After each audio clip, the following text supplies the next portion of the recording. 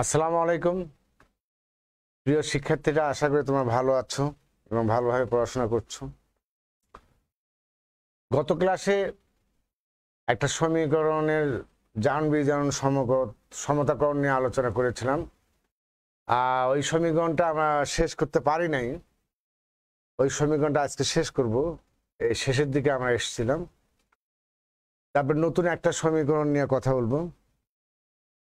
জান বিজান সমতাকরণের একটু সময় বেশি লাগে। একটা সমীকরণ ঠিকভাবে করতে গেলে মিনিমাম আধা ঘণ্টা সময় লাগে আর কি। তো তোমরা প্রিয় শিক্ষার্থী মনোযোগ সহকারে দেখো। আমরা গত ক্লাসে যে সমীকরণে আলোচনা করেছিলাম সেটা হচ্ছে K M N O four plus sulphuric acid plus ferrous sulphate. এটা হলো ferric sulphate.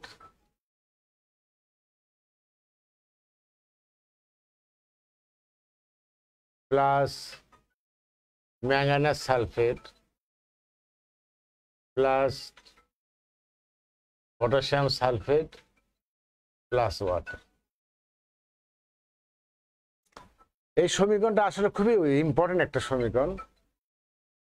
এটা সাধারণত বিভিন্ন পরীক্ষায় দেওয়া হয়। এটি মানে এই সমীকরণের সাহায্যে আমরা হচ্ছে ফেরাস সালফেট অর্থাৎ আয়রনের পরিমাণে কিন্তু আমরা নির্ণয় করতে পারি। এই টাইট্রেশনের মধ্যে এটা তো আসলে একটা জারণ বিজারণ টাইট্রেশন এই জারণ বিজারণ টাইট্রেশনের মধ্য দিয়ে আমরা আয়রনের পরিমাণ নির্ণয় করতে পারি। যে একটা স্যাম্পলে বা একটি নমুনায় কতটুকু আয়রন আছে সেই আয়রনের পরিমাণ কিন্তু আমরা এই সমীকরণের সাহায্যে নির্ণয় করতে পারি। এটা জারণ বিজারণ টাইট্রেশন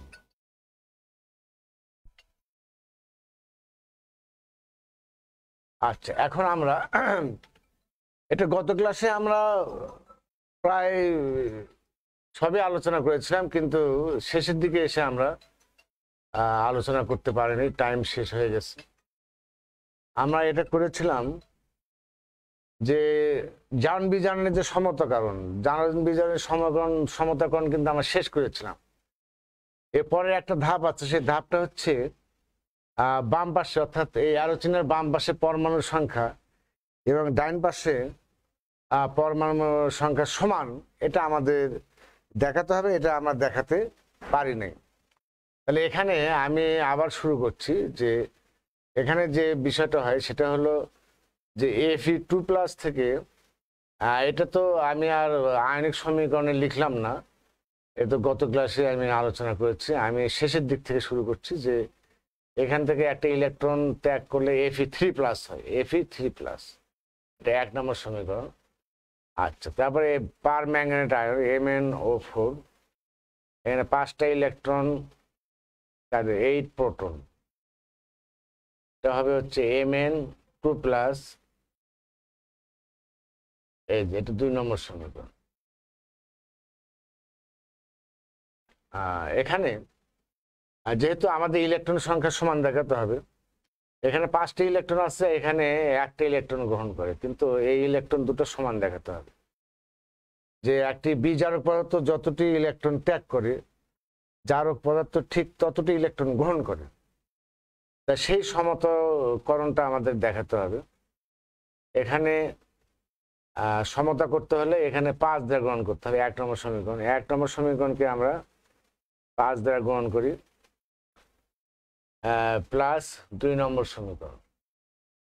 তাহলে এক নম্বর সমীকরণকে পাঁচ দ্বারা গুণ করার পর দুই নম্বর সমীকরণের সঙ্গে যোগ করতে হবে। তাহলে কি দাঁড়াল?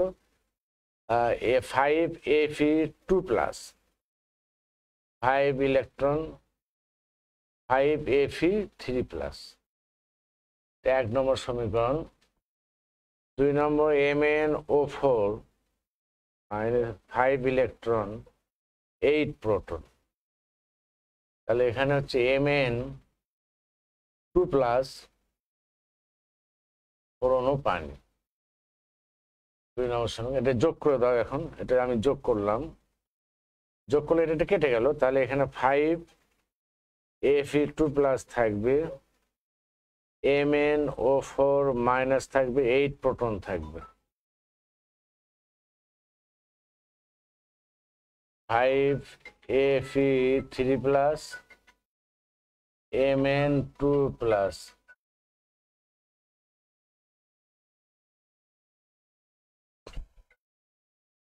তাহলে এখন আমার তো এই যে সমতাকরণ করলাম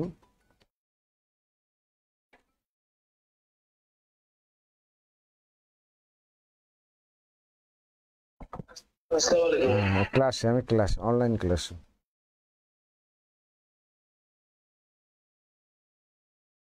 তাহলে এখানে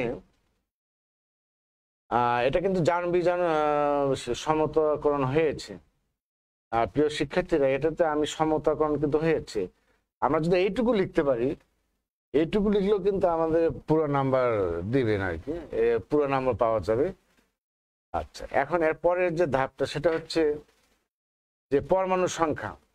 এখানে এই যে অ্যারো বাম পাশে যতগুলো পরমাণু থাকবে অ্যারো ডান পাশে ঠিক ততগুলো পরমাণু থাকবে। তাহলে এটা প্রমাণিত হলো যে জান বিজান সমতাকরণ আসলে হয়েছে। তাহলে এখানে পাঁচটা বাম পক্ষ বাম পক্ষ, পরমাণুর সংখ্যা। পরমাণুর সংখ্যা, এখানে পাঁচটা আছে, পাঁচ। এখানে একটা আছে, এখানে চারটা আছে প্লাস পাঁচ। এখানে আটটা আছে। এখানে আটটা আছে, এখানে চারটা আর এখানে একটা, পাঁচটা। ফাইভ প্লাস ফাইভ এইট তাহলে হচ্ছে দশ, আঠারোটা। এখন আমরা ডান পক্ষ হিসাব করি। ডান পক্ষ পরমাণুর সংখ্যা। ডান পক্ষ পরমাণুর সংখ্যা। ফাইভ এখানে হচ্ছে এক এটা চার দুগুণে এইট প্লাস এইট আর চার প্লাস ফোর তাহলে বারো, তেরো তেরোর পাশে হলো আঠারো। এই যে আঠারো। তাহলে এখানে দেখা যাচ্ছে যে এই যে একটা সমীকরণ, এই সমীকরণের বাম পাশে, অর্থাৎ অ্যারো চিহ্নের বাম পাশে যত সংখ্যক পরমাণু আছে, এবং অ্যারো চিহ্ন ডাইন পাশে ঠিক তত সংখ্যক পরমাণু আছে। এটা প্রমাণিত হয়ে গেল। তার মানে আমাদের যে জারণ বিজারণের যে সমতাকরণ, সেটা কিন্তু হয়েছে, সঠিক হয়েছে। আর কি সেটা আমরা পরবর্তী যে ধাপ, সেই ধাপে যে অ্যারো চিহ্নের বাম পাশে পরমাণুর সংখ্যা এবং অ্যারো চিহ্নের ডান পাশে পরমাণুর সংখ্যা সমান দেখানো হয়েছে। এই কারণে এটা সমতাকরণ সঠিক হয়েছে। এখন আমরা আসি নতুন একটা সমীকরণ।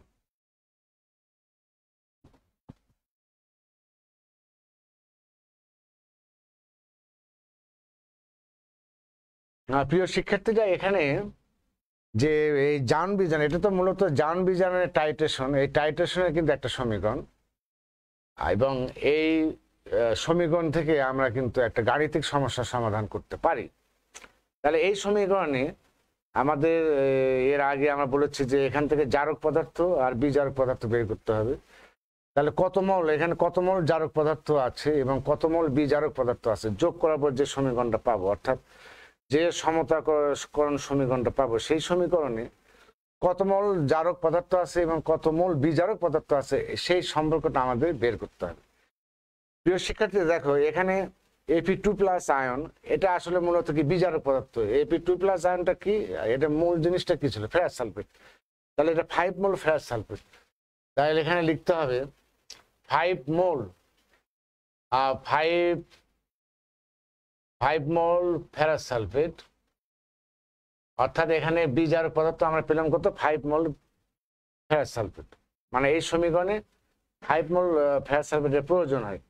আর এই যে পারম্যাঙ্গানেট আয়ন, এই পারম্যাঙ্গানেট আয়নটা আসলে এটার মূল যৌগটা কি? Potassium permanganate. তাহলে এই মূল যৌগ হলো পটাশিয়াম পারম্যাঙ্গানেট এবং তার মোল সংখ্যা কত? One mole.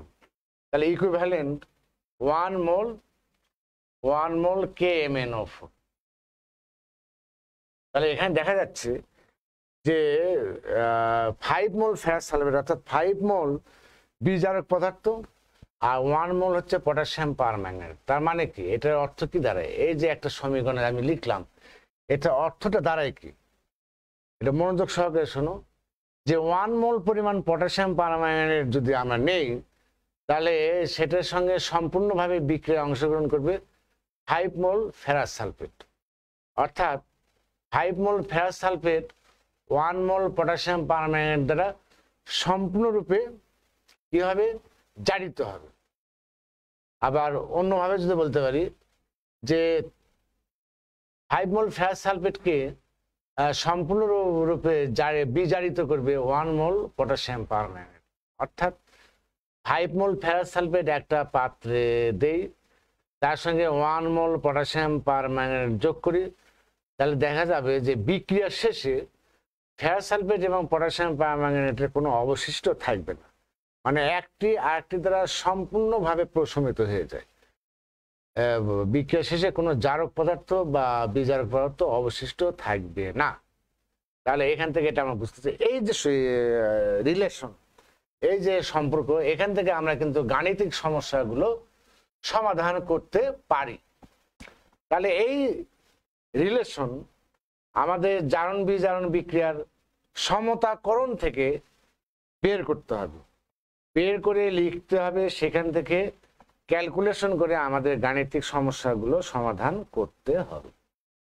এখন এটাকে আমরা যদি এইভাবে লিখি, এটা বাম পাশে লিখি ওয়ান মোল যেহেতু সাধারণত ফেরাস সালফেটের পরিমাণ আমরা বের করি যে একটা নমুনায় ফেরাস সালফেট কতটুকু আছে, অথবা একটা নমুনায় আয়রন কতটুকু আছে, অথবা একটা নমুনায় এফি টু প্লাস আয়রন কতটুকু আছে, সেই পরিমাণটা কিন্তু আমরা এই বিক্রিয়ার সাহায্যে আমরা বের করি, অথবা এই সম্পর্ক থেকে আমরা বের করি। এই কারণে যে, যেটা আমরা বের করব সেটা ডাইনে রাখব, সেটা আমরা ডাইনে রাখব। তাহলে এটা বামে নিয়ে আসি one mole K M N O four equivalent five mole ferrous sulphate এই যে, তাহলে এইটা চারশো সম্ভব এখান থেকে আমরা যে কোনো গাণিতিক সমস্যার সমাধান করতে পারি। এখন প্রশ্ন হলো কি, যে একটা দেখা যাচ্ছে যে একটা নমুনায় আমি যদি এইভাবে বলি, যে এটা একটা পাত্র। এখানে আয়রনের নমুনা। এখানে পাত্রে রাখা হয়েছে। এখানে সালফিক অ্যাসিড যোগ করা হয়েছে, সালফিক অ্যাসিড যোগ করার পর, এটা আয়তন হচ্ছে পঞ্চাশ এম হলো। পঞ্চাশ এম তাহলে এখানে আয়রনের একটা নমুনা। এখানে যোগ করা হলো এই পাত্রে। সেখান থেকে সালফিক অ্যাসিড যোগ করা হলো। যোগ করে তার মোট আয়তন করা হলো কত? পঞ্চাশ এম এল ফিফটি এম আয়তন করা হলো। এখন এই ফিফটি এম এল এখানে আয়রনের সাথে সালফিক অ্যাসিডের বিক্রি হবে, অর্থাৎ এই রকম বিক্রি হবে। H two S O four ferrous sulphate হবে। Ferrous sulphate hydrogen. তাহলে এই ধরনের একটা রিয়াকশন হবে। তাহলে এখানে আছে ফেরাস সালফেট দ্রবণ। তাহলে এই ফেরাস সালফেট দ্রবণের পরিমাণ কত? পঞ্চাশ এম এই পঞ্চাশ এম এল ফেরাস সালফেট দ্রবণকে আমরা টাইট্রেশন করব। কি দিয়ে? আমরা পটাশিয়াম পারম্যাঙ্গানেট দিয়ে টাইট্রেশন করব। এটা একটা সেকেন্ডারি স্ট্যান্ডার্ড পদার্থ। এই পটাশিয়াম পারম্যাঙ্গানেট দিয়ে টাইট্রেশন করতে এটার পরিমাণ মনে করো পঁচিশ এম লাগবে। পঁচিশ M L point one molar K M N O four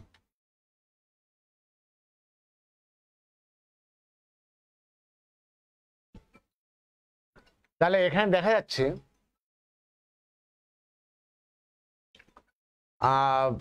একটা আয়রনের নমুনা বা একটা লোহার একটা নমুনা আছে। সেই লোহার নমুনা নিয়ে সেখানে আমি সালফিক অ্যাসিড যোগ করলাম।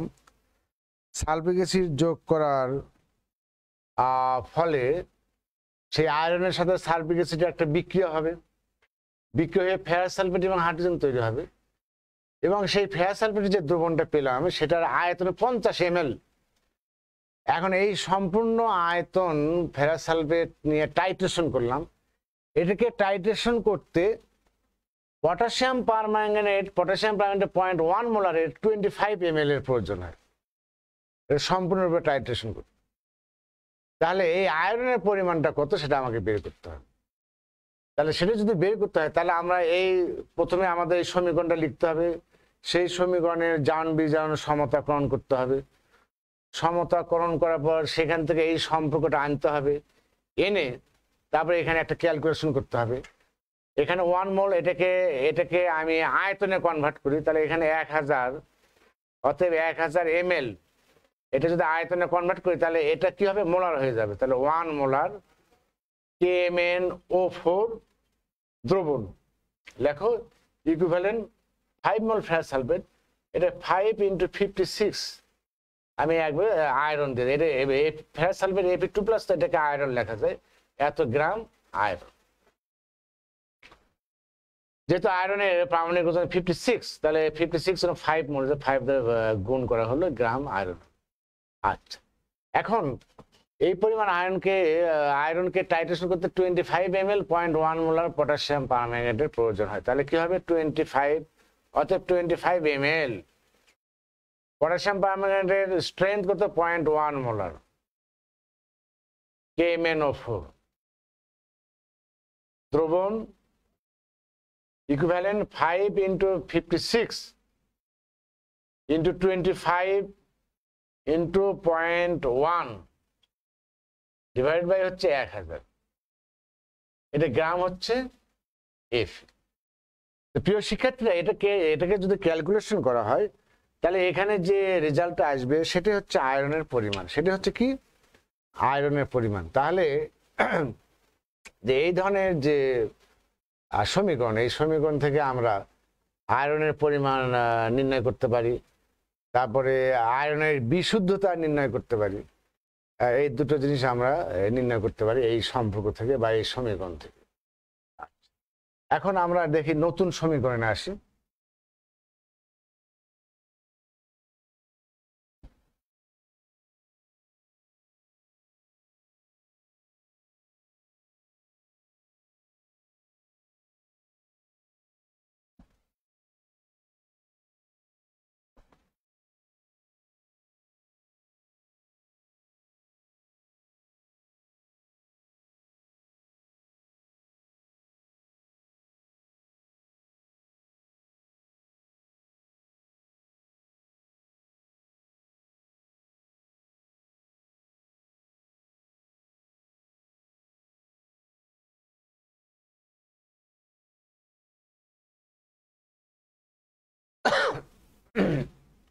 Potassium permanganate K M N O four, plus sulphuric acid,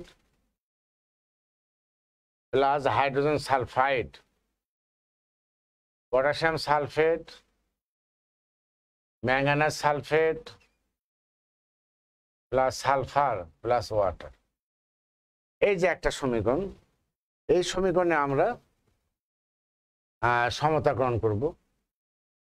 এখানে potassium permanganate sulphuric acid, hydrogen sulphide. Potassium sulphate manganous sulphate, sulphur আর ওয়াটার। এখানে হাইড্রোজেন সালফাইড, এই হাইড্রোজেন সালফাইডের পরিমাণ নির্ণয় করার জন্য আমরা এই সমীকরণটা আমরা ব্যবহার করতে পারি। তাহলে এখানে প্রথমে আমরা এই সমীকরণটা একটা মলিকুলার সমীকরণ, এটাকে আয়নিক সমীকরণে কনভার্ট করি। প্রথমে আমাদের কাজ হবে এটাকে আয়নিক সমীকরণে কনভার্ট করা। তাহলে হচ্ছে K plus M N O four plus H plus S O four two minus plus H plus S two minus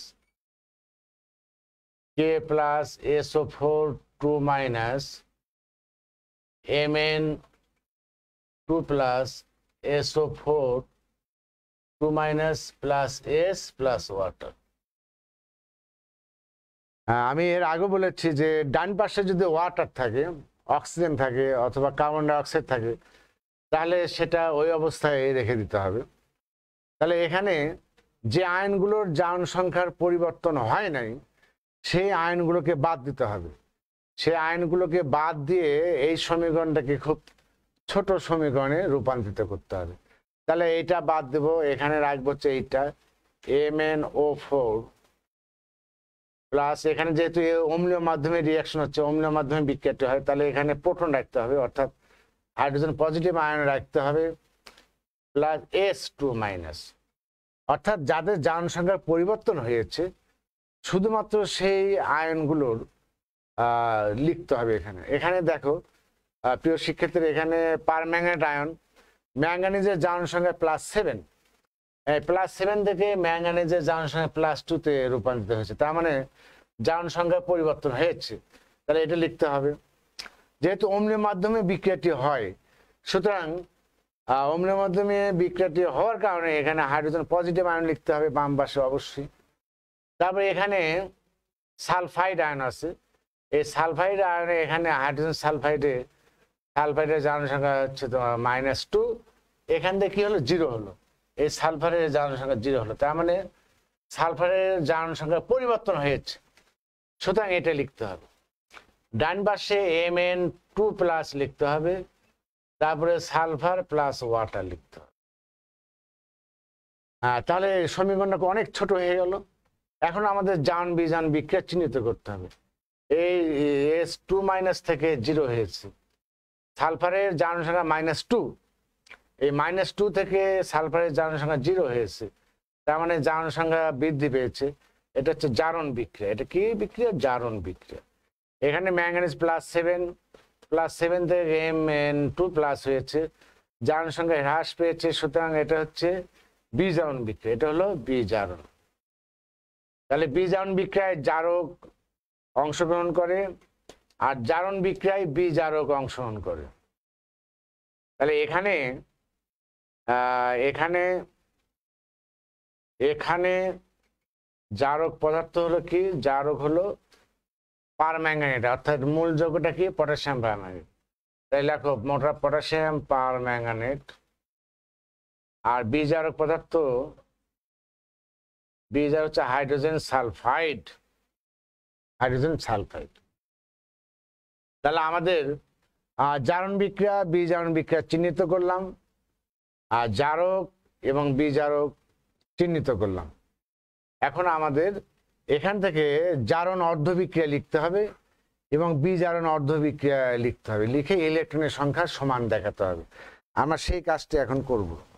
তাহলে এখানে লিখি, জারণ জারণ অর্ধ বিক্রিয়া। জারণ অর্ধ বিক্রিয়া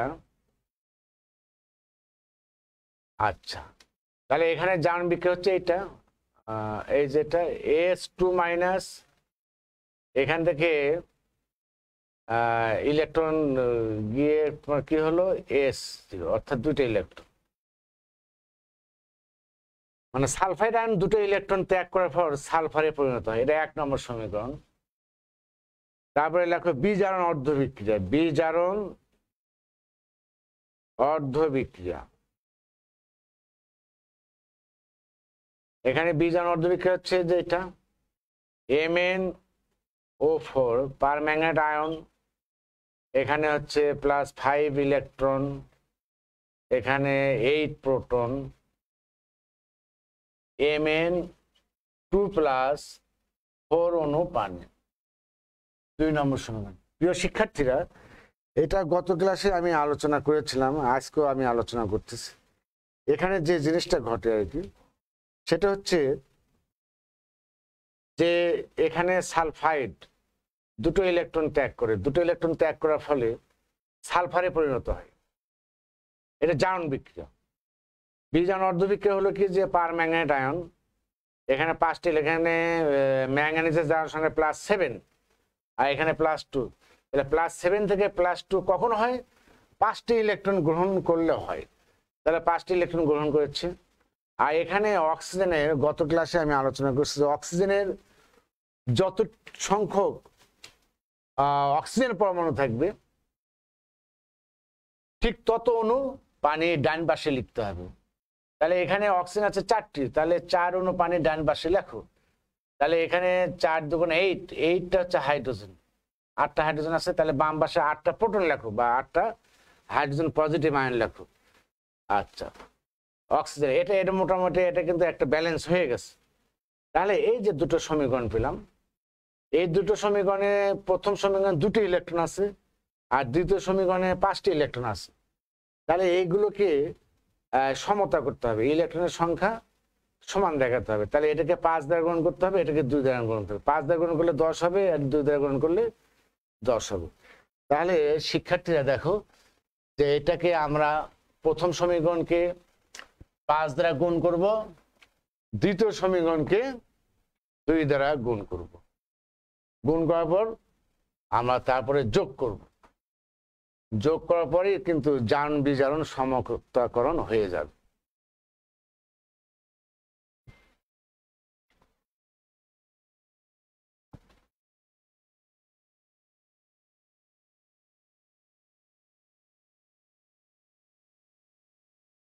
তাহলে আমরা এক নম্বর সমীকরণটা লিখি। এক নম্বর হচ্ছে তোমার এককে পাঁচ দ্বারা গুণ করো। যোগ হচ্ছে দুই। এটাকে গুণ করতে হবে হচ্ছে দুই দ্বারা, এই আচ্ছা তাহলে এখানে কি দাঁড়াল?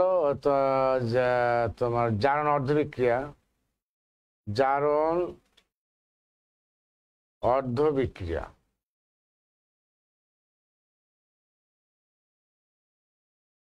ফাইভ এস টু মাইনাস দশ ইলেকট্রন। ফাইভ এস এক নম্বর সমীকরণ। তারপরে বীজাণ অর্ধবিক্রিয়া।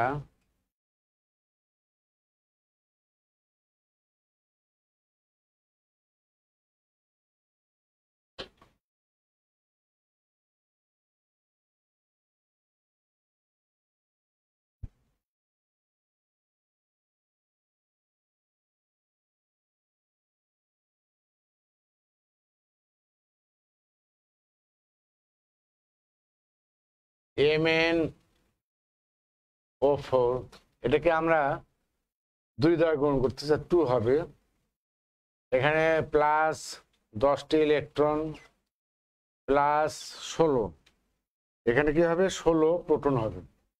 ষোলো প্রোটন, আর তারপরে হচ্ছে two A, two M N two plus চার দুগুণে এইট ওয়াটার। দুই নম্বর সমীকরণ। চার দুগুণে এইট টু ষোলো, দশ। এখন এটা আমরা যোগ করি। আমরা যোগ করলে কি হবে? এটা এটা কেটে গেল, এটা এটা কেটে গেল, এটা এটা।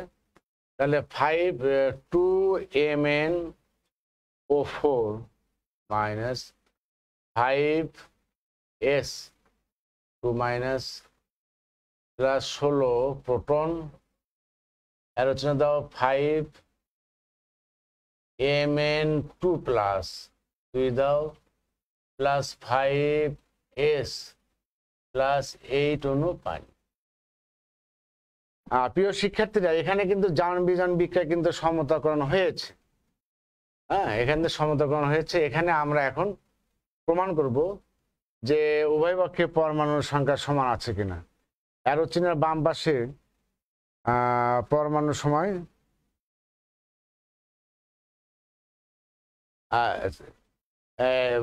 অ্যারোচিনের বাম পাশে পরমাণু কতটুকু আছে এবং ডান পাশে কতটুকু আছে সেটা আমরা হিসাব করব আর কি।